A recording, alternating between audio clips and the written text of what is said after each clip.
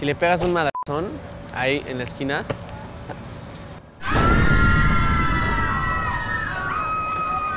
Ok, ya llevo un tiro menos, supongo. Extravaganza. Mi panza me tiene confianza. Trae a la esposa del chef que quiero besarla. Tenedor, cuchillo, cuchara. Listo, amigo, esto es. Ñam Ñam Extravaganza. Yeah.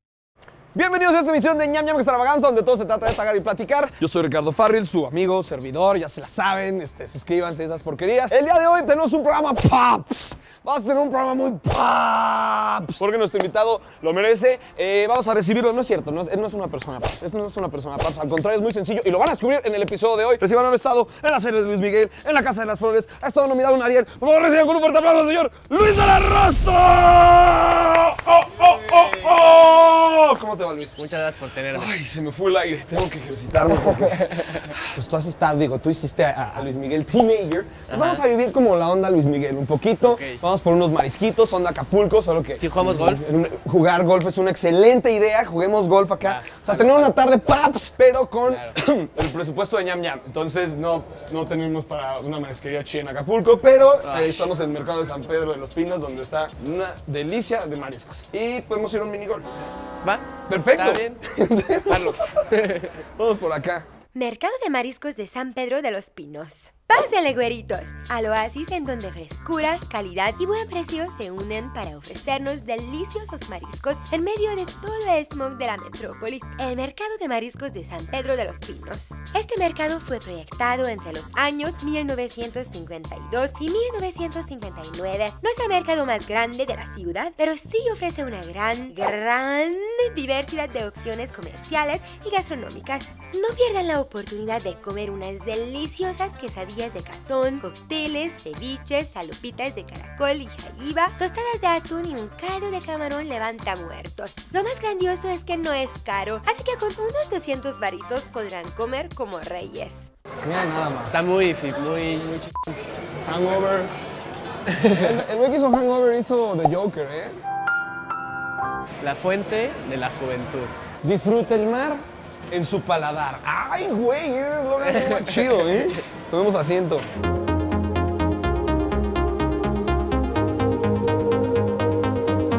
Yo digo que, digo, fue tu propuesta, de hecho, pedir al centro. Llegar, Cosa que nos sí. fascina en ñam ñam. Aquí le decimos pedir como libaneses, porque pues todo al centro, compartes, picas, más gérmenes, pero es como en familia. Ceviche, almejas y tacos. Ceviche, almejas y tacos. Una, un este, un... Una fritanguita, acá una... Una quechadillita de... De nada, pescado. eh, ta- tacos. Pues que unos tacos cada quien. Me encanta tu flow, ¿Sí? me encanta tu flow. Hagámoslo. Eh, pues ya estamos listos. ¿Cómo le va, jefe? ¿Cómo se llama? Javier. Javier. Muchas gracias. Javier, vamos a pegar un atascón al centro. Va a ser Un ceviche de pescado. ceviche de pescado, almejas vivas y ostiones rasurados. ¡Pum! Un jefe, un marlin y un jaiba. Y todos con...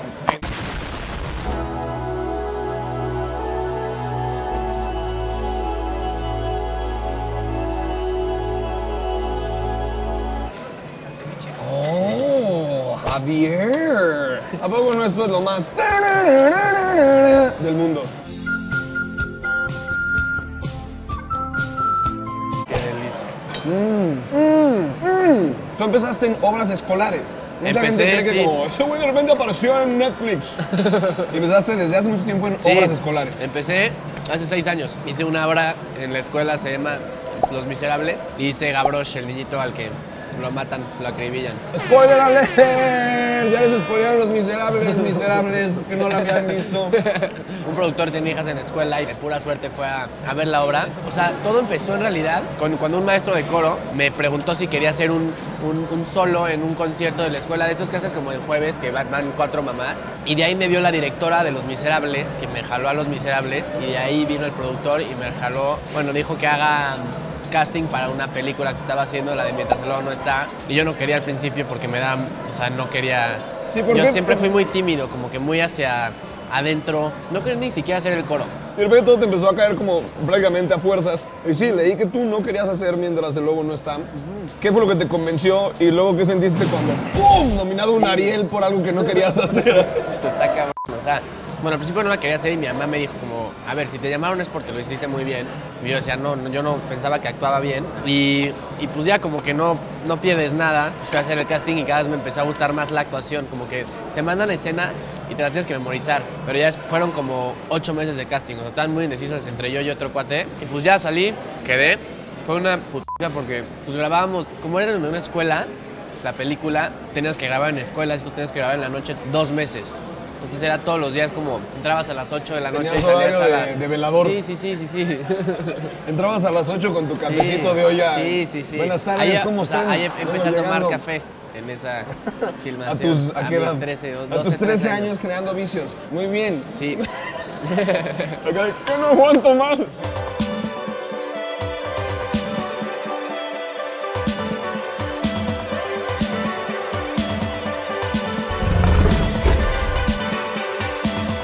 ¡Ojo! Opcioncito rasurado. Chavocho, chavocho.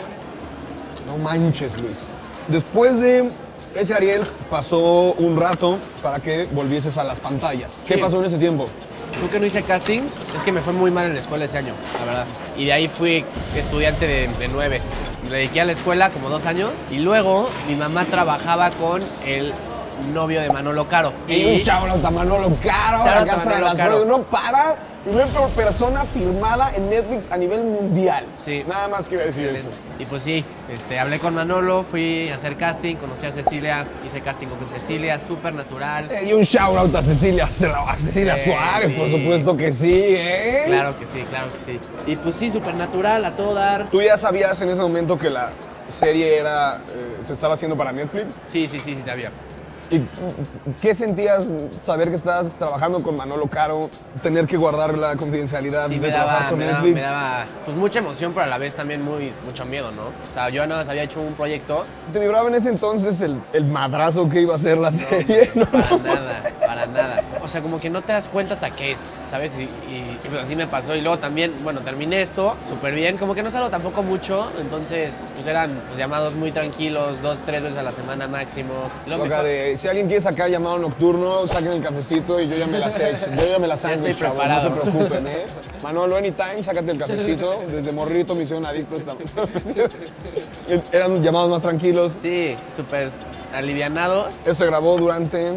Después de verano. Después de verano yo me iba a ir a Canadá. O sea, casi ni, casi ni hago la serie porque me iba a ir a Canadá. Al final sí concluimos que sí era muy buena experiencia, muy buena oportunidad. Y por Netflix me vieron para Luis Miguel. Creo que estaban buscando mucho tiempo a, a un Luis Miguel y me escribieron y me dijeron que tenía que irme desde como noviembre hasta marzo a México. Sea, ya no, adiós Canadá, ¿sabes? Y ahí les dijimos que no, porque pues sí implicaba que yo perdiera mi año y tal y tal y tal. Luego como que me platicaron más del proyecto, de lo que iba a hacer, de todo y me mandaron el guion y me cambiaron las fechas y me iban, iba, yo iba a volar como una o dos veces al mes, grabar una semana todos los días y regresar. Como que eso ya estaba más manageable. ¿Por qué fue tan importante Canadá? O sea, porque para cualquiera es como, güey, mis papás me mandaron a Canadá muy en ese entonces. Y no fue así, tu papá te dijo, usted se va a hostelear a Canadá, Sí, usted sí, va sí. a, ch- a Pues sí, Canadá. mi papá eh, a mi edad se fue a Irlanda y eso lo marcó. O sea, me dijo que aprendió muchísimo, que te conoces mucho a ti mismo, ¿no? Y como esa, ese rollo de, pues, de conocerte y de estar, de aprender muchas cosas y tal, pues quería que yo lo viviera, obviamente. Y, y pues sí, yo me quería ir a Canadá y mi- de lo que me contaba mi papá, pues sí era muy, una experiencia muy importante. Dices que te mandaban con un presupuesto semanal de 40 dólares. 40 dólares a la semana. Entonces tenía que comprar camión, comer, todo. Y esto aparte de la experiencia, o sea, tu papá te dijo, usted se va a fregarle a Canadá. Sí. Pero tú ya tenías tu, tu tarjetita de la Casa de las Flores, no puedes decir como, pap, sí, ok, me ando gastando mis cuentas Pues sí, semanales, ojalá, pero no. Vámonos a cenar a unos restaurantes que pague el sueldo de Netflix. Pues ojalá, pero no, no, mis papás, pues justo también para eso era la experiencia. te congelaron esa tarjeta, no podías gastar lo que habías ganado para vivir la experiencia de fregarle y estar por tu Sí. cuenta solo. Sí, aprendí muchísimo. O sea, aprendí a usar transporte público, el metro, el camión, caminar. O sea, como que me volví mucho más ubicado, valorar lo que tienes, ¿no? Sí, fue una experiencia muy importante. Éntrale, por favor.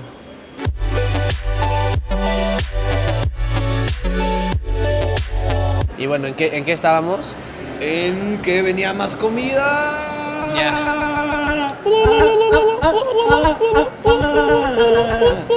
Es que los partimos así.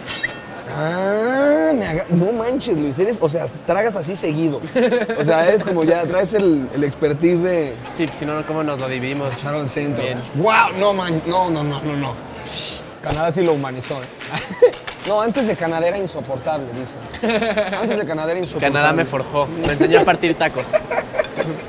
Durante esa época eh, estuviste yendo y viniendo de Canadá haciendo Para Luis Miguel, la serie. O sea, querían verme. No era de que querían que sea Luis Miguel, querían verme, platicar, que actuara, porque ni siquiera había actuado de Luis Miguel, una vez no me salía, ¿me entiendes? Y pues, la verdad se me hizo una gran oportunidad después de una buena plática, concluimos que sí valía la pena. Perdí como dos meses más o menos de escuela. Pero Luis. Miguel la serie. Exacto. No, es que cómico se emocionó desde que vio el anuncio de Pero ha llegado el momento. Pero ha llegado el momento de que mi verdad salga a la luz.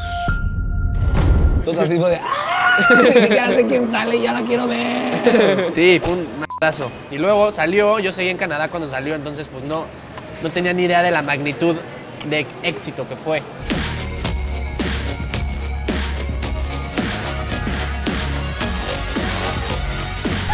Excelente. Luis ha entrado al top de uno de los invitados más centrones. No les voy a decir quiénes son los demás, es más, comenten quiénes son ustedes, quiénes creen que sean los demás. Y dicho esto, es el segundo tiempo de nuestro programa Mi Rey. Vamos al golf. Güey, ¿juegas golf, güey? Obvio, güey. Toda la- Güey, no, no me imagino un domingo sin jugar. No, fue a pedo, ¿has jugado golf? No. O sea, sí, soy malísimo. Yo también. No le puedo pegar. Vamos a jugar golf. Me llevo este, este para llevar. Olvidé pagar la cuenta. Por cierto, de la cuenta fueron. Ay, tú no puedes oír, Luis, porque me da pena que lo oiga el invitado.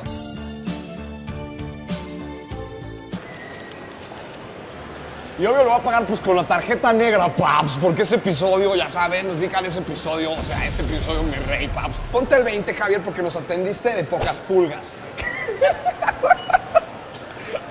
eh, buen precio, ¿no? Para el atascón de mariscos que nos pegamos, es un, es un restaurante, no te, no te cuesta eso. ¿Cuál ha sido tu, tu codo más codo de ñam ñam? ¿El más barato? ¿Cuál habrá sido el más barato? Hay unos que aparentan ser muy baratos y son carísimos. Nos fuimos a tragar bichos con Tessa y así episodio costó lo que los 15 años de mi prima. No,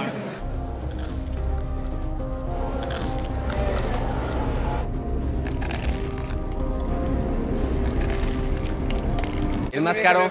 Más caro.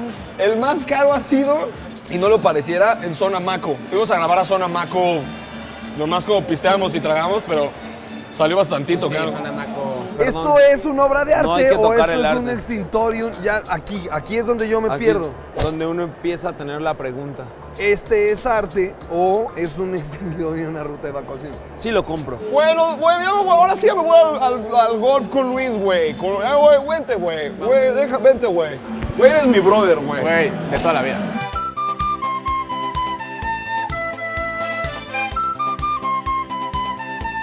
Ahora sí, paps, ya llegamos al club de golf. Bueno, como les dijimos, no es un club de golf. Es este, un golfito que está en el Centro Comercial de Patriotismo. Pero para mejorar las cosas traemos un, me gustó llamarlo un coño Mikit. Un coño Mickey. Es un coño Mikit. Ok, el coño Mikit empieza con, eh, puedes seleccionar tu camisa, onda mi reizosa, Ok. setentera. Luis de la Rosa. Luis de la Rosa, Casa de las Flores, ¿Qué creo opinan? que... Sí, ¿no? Sí.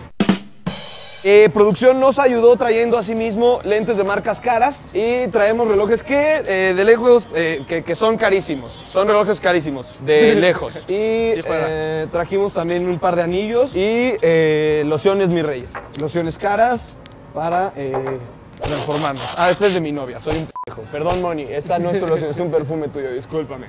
¿Margaritas o qué, güey?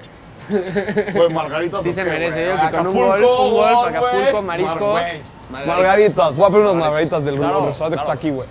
Güey, No mames. eh, ya sé que parece como limonada de hotel, güey, pero güey, margaritas, Salud, güey. Salud. A ver, es que no, no tengo espejo. Güey, güey, eres padrote, güey. ¿Sí rifa? A ver, güey. Güey. Una selfie, güey. Que la vean las morras, güey. Estamos galanes, güey. Güey, que la vean las morras, güey. Que sepan, güey. Para que sepan qué pedo, güey. ¿Cuáles te quedan mejor? Yo creo que estos, ¿no, güey? Christian Dior in Flow, güey. Obviamente, güey. Vamos a echar un golf, ¿no? Mi papá es dueño del lugar, güey. Vente, güey.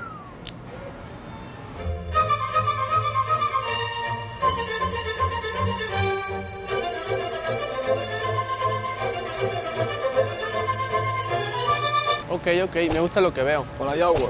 Oye, no, ¿qué no, qué no el hoyo uno siempre tiene que ser fácil? ¿Por qué le ponen eso? Como que el hoyo uno nomás era como darle y ya, ¿no? Sí. Venga, empecemos. Vamos. Cadi.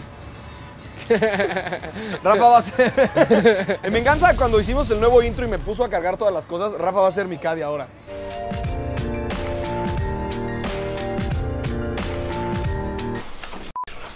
Te enseño, para que te enseñe a tirar, fíjate. Eh, bajas el cuerpo, te pones, la verdad no sé cómo tirar, no tengo la menor idea. Sacas la pompa Gente que- ¿Así? y Ok. pies parejos, pies parejos.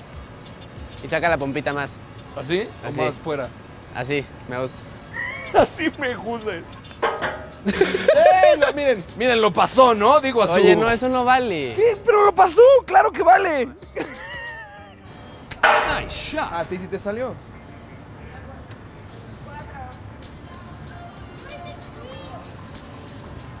Tiro dos.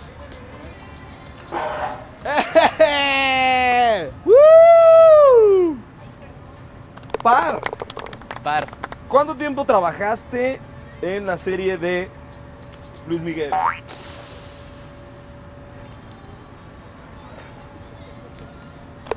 Cinco meses.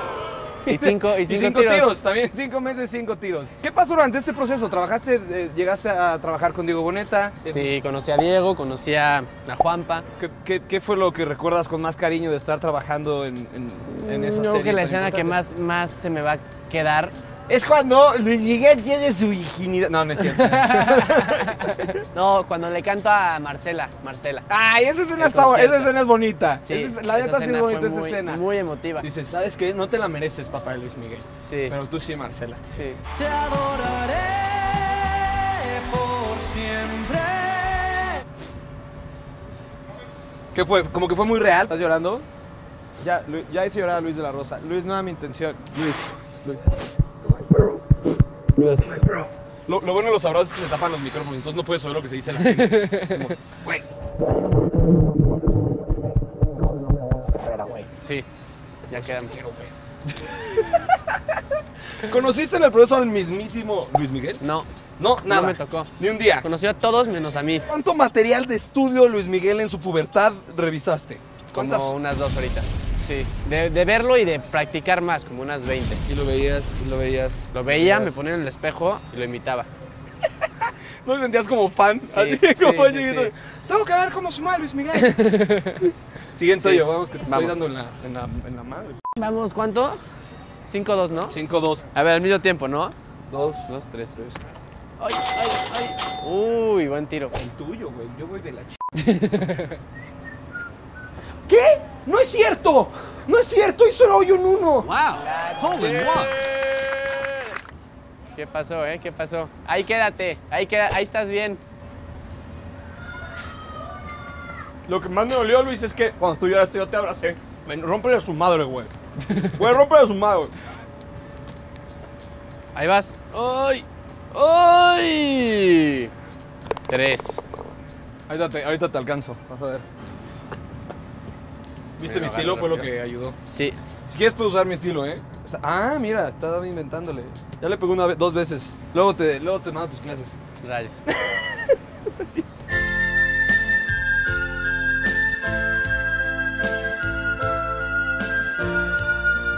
¿Aquí se podrá hacer hoyo en uno? Si le pegas un madrazón ahí en la esquina,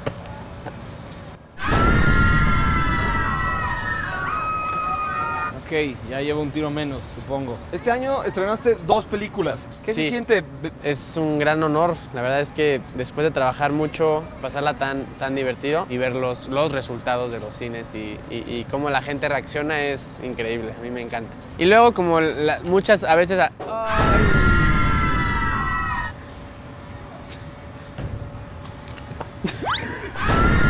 Mira, claramente tú vas a ganar este evento. Ponla aquí, ponla aquí, sí. Dije que era una mierda. ¡Ah!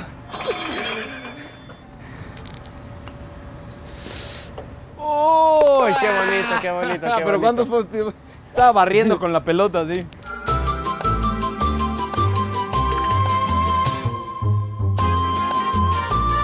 Nos platicaste de las dos películas que has eh, filmado y estrenado este año. Bueno, no las filmaste este año seguramente, pero ¿tienes, tienes claro que a dónde quieres llegar? ¿Qué es lo que quieres hacer?